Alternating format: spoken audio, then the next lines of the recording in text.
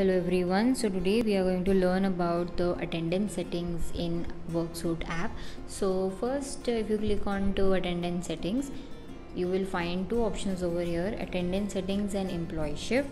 So if you want to learn about employee shift settings, so we have a dedicated video for that.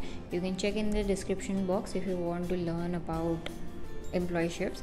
So first we have over here is allow employees to request shift change. So if you want to allow your employees to request the shift change day shift or the night shift change you can uh, enable this option. Otherwise you can disable this. Next up we have the save clock in location. So if you want the clock in location to be saved you can enable. So you can check the clock in location of the employees by going to the HR section and clicking on to attendance you can click on this tick and then you can see you can see the location work suit office as well as you can also see the location of the map by clicking on attendance by location.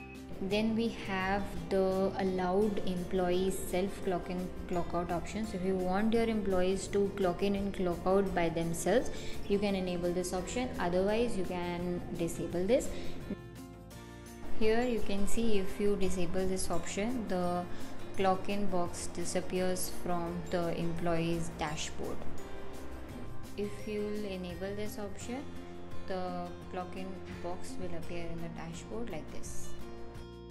So next up we have the clock in check with the added location radius. So if you want to add radius around your business location in which the employees can clock in and clock out in that particular radius only you can enable this option.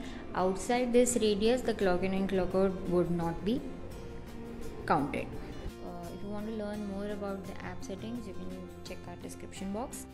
For example i have set the radius to 50 meters here.